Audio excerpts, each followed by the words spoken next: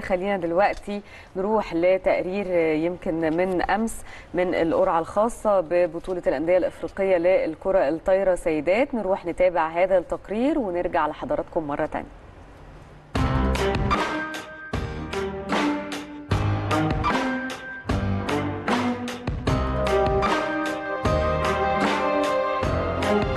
بدايات البطولات دايما هي زي ما يقولوا حمى البدايات. لازم نخلي بالنا لازم الناس تخلي بالها. كل الناس بكرة بتتفرج عليهم. آه، بنقول لهم شدوا حيلكم لأن البداية نفسها بتدي ال- ال- الدفعة الأولانية. وأعتقد البنات عندهم كل الدوافع يقدروا يحولوا البطولة دي على أرضهم وسط جماهيرهم. وبداية بإذن الله تكون بداية إن شاء الله تكون بداية موفقة.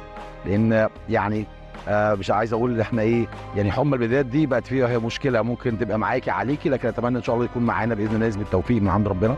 واتمنى البنات ان شاء الله يحققوا جماهير وطموح جماهير النادي الأهلي بإذن الله. الحمد لله طبعا إن إحنا قدرنا نستضيف البطولتين ورا بعض. الحمد لله بطولة الولاد يعني طبعا بعيدا عن إن إحنا كمان قدرنا نفوز بيها ودي طبعا سعادة لينا ولكن نظمناها بشكل يعني مشرف للنادي الأهلي والمصر كلها.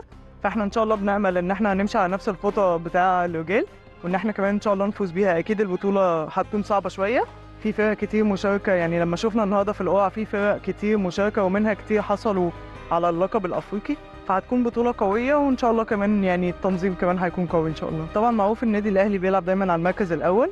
يمكن شفنا الرجال أدوا أداء آه، قوي، يمكن ما خسرناش شوط طول البطولة. حتى الماتش الفاينل خلصناه بشكل كويس جدا. آه، فأتمنى إن شاء الله السيدات هنكون آه، يعني على قدر من المسؤولية وأكتر كمان إن إحنا نقدر إن شاء الله نفوز ونظهر بشكل كويس ونتأهل لبطولة لكأس العالم للأندية إن شاء الله. أنا عايز أقول إن إحنا يمكن أصعب مجموعة معانا فريق قوي هو فريق السجون الكيني.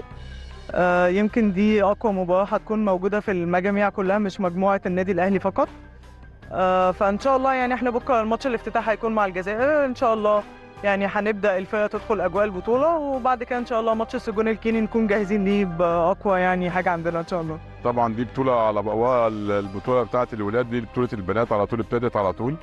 آه، ده طبعا آه، مجهود كبير للمنظمين في النادي الأهلي وبنشكر النادي الأهلي على التنظيم الرائع دوت. آه، بالنسبة للبطولة أنا شايف طبعا السنة دي في competition هتبقى أعلى شوية. دخول الأهلي السنة اللي فاتت ما كانش موجود. الزمالك بطل البطوله السنة اللي فاتت حامل اللقب. كينيا حامل اللقب الثاني بعد نادي الزمالك ففي ثلاث فرق أقوياء جدا في البطولة دي. آه، الغريب إن البطولة دي فيها 10 فرق جداد عن السنة اللي فاتت. يعني في تسعة ما جوش و10 جداد بدلهم. آه، دول مش معروفين لحد. فطبعا هتبقى العملية مبهمة شوية. آه، بالنسبة للفرق القوية لازم تقعد يعني لازم يبقى المدربين يجوا بقى يتفرجوا على كل الماتشات ويشوفوا الفرق دي شكلها عامل إزاي. لأن الفرق دي ما كانتش موجودة السنة اللي فاتت يعني لو كان ما عنديش ريفرنس ليها يعني. فبس إن شاء الله هتبقى بطولة موفقة وإن شاء الله تبقى لمصر يعني. آه، مشاركة النادي الأهلي الأهلي بطل آه، الدوري. وأعتقد إن هو طبعا فرصه عالية جدا جدا جدا. الزمالك فرصه عالية جدا برضه. كينيا فرصها قوية جدا. يعني برضه أنا بقول لحضرتك من الأول في ثلاث فرق آه، محدش يعرف مين اللي يكسب لغاية دلوقتي. بس طبعا الادفانتج بيبقى للنادي الأهلي عشان ملعبه. آه، وعشان جمهوره وكده. آه، وربنا يوفق الأفضل يعني. المجموعة طبعا مش يعني هو طبعا عشان هم 15 فرقة اللي جم فقسموهم على أربع مجاميع فالنادي الأهلي معاه فرقتين اتنين بس يعني هم ثلاثة فهو هيبقى عنده ماتش باي. آه، هيلعب ماتشين بس. أعتقد المدرب هو اللي اختار الفرقة دي. دايما المدرب بيختار الفرقة ال- الأضعف يعني. نشكر آه، النادي الأهلي على الضيافه وعلى آه، حسن المعاملة.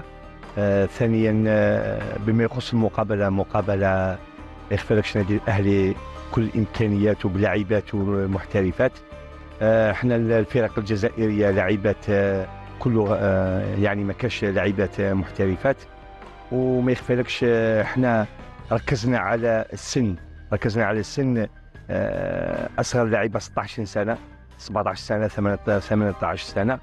وذلك من أجل أخذ ال- الخبرة والتجربة. وإحنا حبونا حبونا للنادي الأهلي. ومصر هو اللي خلانا نشاركوا. آه، كما قلت بيكون بدون مجاملة وب- وكل تواضع لكانت في دولة أخرى ما نروحوش نشاركوا.